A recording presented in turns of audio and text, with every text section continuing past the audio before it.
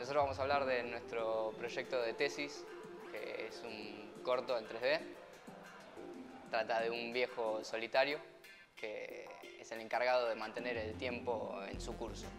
El proyecto este lo empezamos en el quinto cuatrimestre, que fue todo, todo ese cuatrimestre fue desarrollo, diseño de personajes, diseño de fondos, de la estética.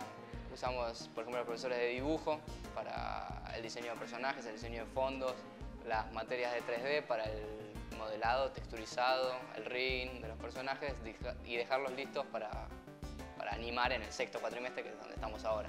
Usamos a los profesores de composición para trabajar el color, con la estética, los profesores de sonido en el cuarto cuatrimestre para aprender a hacer la sonorización, la mejor sonorización que podamos para acompañar el corto, la cual es muy importante más en nuestra historia.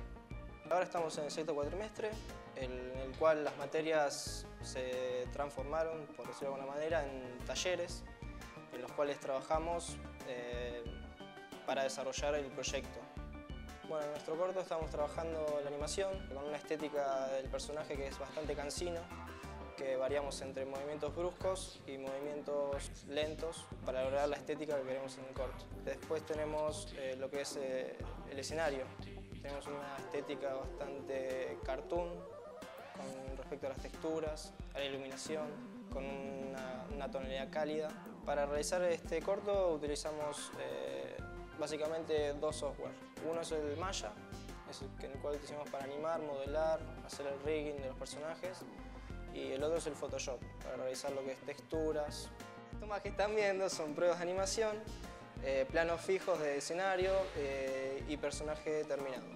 Eh, estoy haciendo un corto de animación en 3D, que es mi tesis. Trata sobre un personaje que es un cuadrúpedo muy obsesivo que colecciona una especie de piedras volátiles, son unas piedras que tienen una gravedad diferente, que cuando quedan sueltas se van con el viento, se escapan ascendiendo.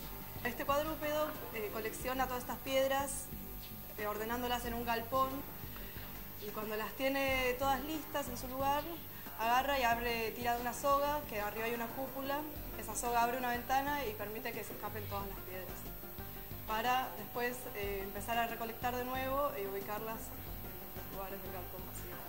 La idea es hacer un juego con los contrastes, corto, contrastes en la imagen a través de, bueno, lo de, la imagen de ferocidad en los dientes y que en realidad tiene una personalidad más, más cuidada, más tranquilo.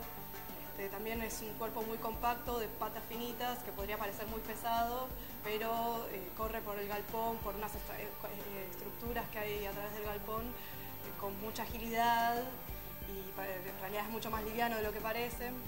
Las piedras también tienen, parecen piedras pesadas, son en realidad súper livianas.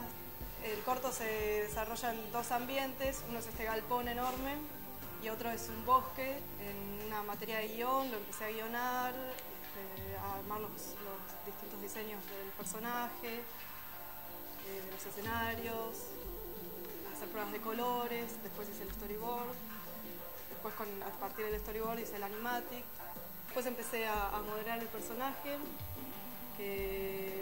como los dientes me parecían muy importantes, aparecen aparte en, primeros planos, eh, los hice irregulares y para eso eh, modelé diente por diente. Eh, a todo le hice una, una textura que lo apliqué en Photoshop y ahora estoy haciendo pruebas de animación ya con las estructuras y el personaje.